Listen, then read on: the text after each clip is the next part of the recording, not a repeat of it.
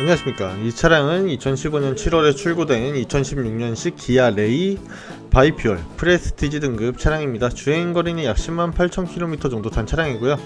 사진 한번 먼저 보여드릴게요. 네, 전면 측면 사진, 후측면 사진, 후방 센서 장착이 되어 있고요. 전면 사진, 후면 사진. 후방 카메라도 장착이 된 차량이네요. 네, 휠 타이어 상태 다 양호해 보이고요. 휠에는 거의 기스 하나 없이 깨끗합니다. 엔진룸 앞좌석 계기판상 주행거리는 108,350km 네, 버튼 시동 스마트키. 시트는 브라운 블랙 이렇게 two-tone으로 이쁘게 되어 있고요. 네, 운전석 뒷좌석 핸들 리모컨 장착되어 있고 그런 블루투스가 들어간 차량입니다.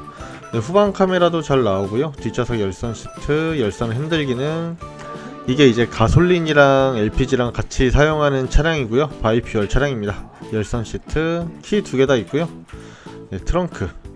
자 사진 다 보여드렸고 성능 기록부 보시면 앞 펜더가 하나가 교환이 됐는데 이 이쪽 부분은 단순 교환 무사고로 들어갑니다. 해서 단순 수리 있음 사고 없음 해서 단순 교환 무사고 차량이고요.